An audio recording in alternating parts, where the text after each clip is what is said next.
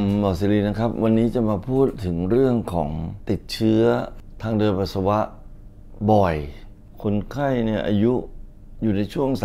30-35 ปีนะเป็นเป็นคนต่างชาตินะมาด้วยเรื่องบอกว่าปวดปัสสาวะลำบากเนี่ยเป็นมาตั้งแต่เมื่อคืนนะหนึ่งคืนอะหนึ่งคืนแล้วก็กินพยายามกินน้ำเยอะๆมา แล้วก็มาบ่นเลยว่า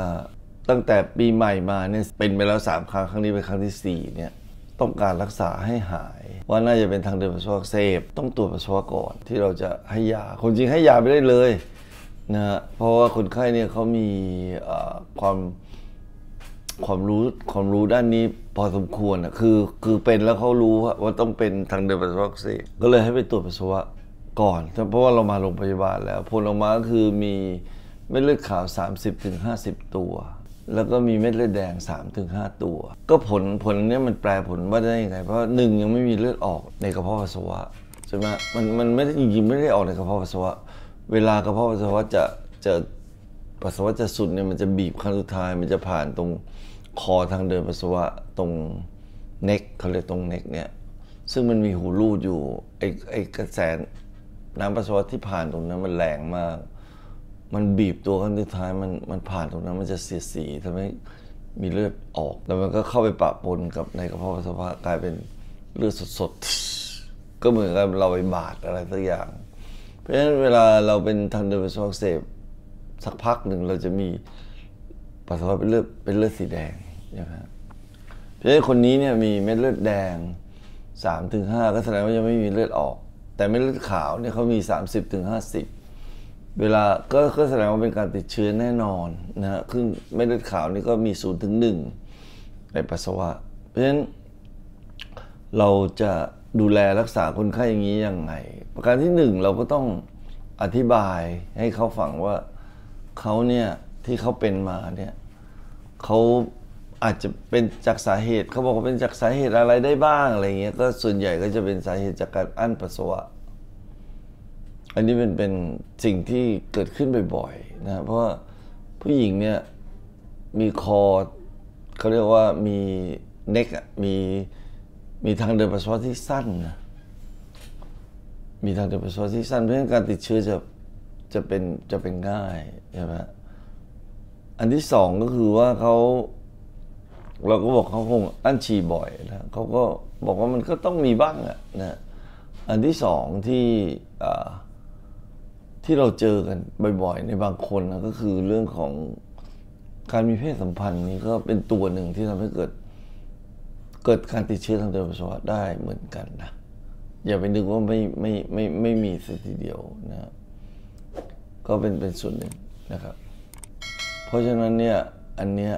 ก็เป็นอันหนึ่งที่เราก็ต้องคิดไว้ในใจ อันที่สามก็คือเรื่องของการที่เขาเนี่ยทานยาฆ่าเชื้อเนี่ย ไม่ไม่ครบโดสนะครับ ก็คือว่าเขาเนี่ยกินยาฆ่าเชื้อปกติ ปัจจุบันไม่เหมือนสมัยก่อนสมัยก่อนกินประมาณยาฆ่าเชื้อประมาณสามสี่วัน ก็หายแล้วไม่ค่อยเป็นหรอกนะแต่ว่าปัจจุบันนี้เวลาเรากินยาฆ่าเชื้อปั๊บวันรุ่งขึ้นจะดีเลยนะ คนไข้จะกินไปสามสี่วันแล้วก็เลิก แต่ว่าปัจจุบันไม่ได้ปัจจุบันต้องกินเจ็ดวันนะแล้วก็ถ้าเกิดว่าเป็นผู้สูงอายุนะเป็นระดับประมาณ 70 80 90 อะไรเงี้ยซึ่งเป็นทางเดินปัสสาวะปกเสบบ่อยๆเนี่ยอาจจะกินอาจจะต้องกินถึง 10 วัน หรือ 14 วันหรือจจะต้องเพาะเชื้อนะเพาะเชื้อจากจากไอปัสสาวะที่ที่ที่เป็นเนี่ยนะฮะ เพราะว่าการติดเชื้อในปัสสาวะถ้ารุนแรงเนี่ยมันจะขึ้นไปที่ไต เกิด acute pyelonephritis ก็เป็นไตอักเสบรุนแรง ต้องนอนให้ยาที่โรงพยาบาลเนี่ยสามวันนะตอนนี้คนนี้ก็เราก็หนึ่งก็คือว่าอาจจะเป็นจากเรื่องเพศสัมพันธ์ก็ได้ มีเพศสัมพันธ์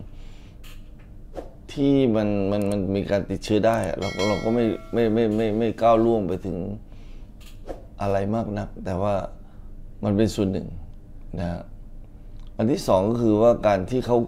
กินยาเนี่ยมันครบโดสไหมนะฮะบางทีเขาอาจจะครั้งการที่แล้วแล้วนี่มาเนี่ยเขากินไปไม่ไม่ไม่ครบเจ็ดวันนะเพราะฉะนั้นปัจจุบันต้องกินให้ครบเจ็ดวันนะฮะแล้วก็การการรักษาเนี่ยที่แล้วแล้วมาเนี่ยเขารักษาโดยตัวเองหรือว่าการที่เขาไปไปในอ่อรักษากับ ผู้เชี่ยวชาญหรือเปล่านะบางคนเนี่ยเขายังคิดว่ายาเดิมๆยังยังใช้ได้ดีอยู่อะไรเงี้ยบางทีมันใช้ได้ไม่ดี ปัจจุบันนี้ใช้ ciprofloxacin นะ C I P R O F L O X A C I N อะไรเงี้ย ciprofloxacin ปัจจุบันใช้ตัวนี้ ทานครั้งแรกนี่ให้ทาน 2 เม็ดไปเลยนะจากนั้นก็ทานเช้าเย็นนะก็จะหาย 7 วันนะ กินวันแรกก็อาการดีละแล้วก็ส่วนใหญ่ก็จะหาย แล้วถ้าเราไม่กินต่อคราวนี้ถ้าเป็นซ้ำมันจะเป็นในเวลาที่รวดเร็ว เพราะฉะนั้นคนนี้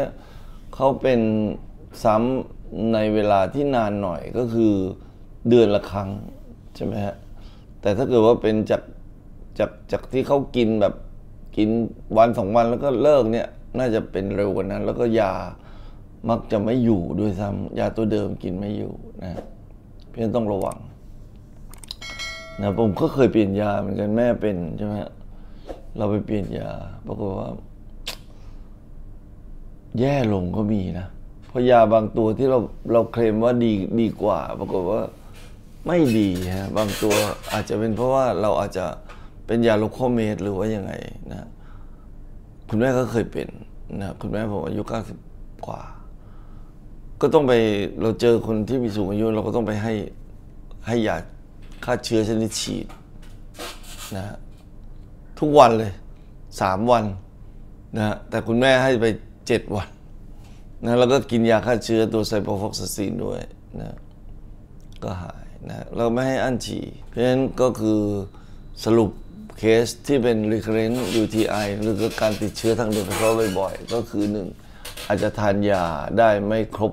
โดส7วัน อันที่สองคืออาจจะเกิดจากการมีเพศสัมพันธ์ก็ได้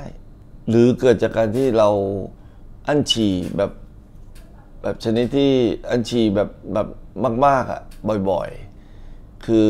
เราคิดว่าเอ้ยเพิ่งเราหายไปเราไม่น่าจะเป็นอะไรมันก็กลับมาเป็นได้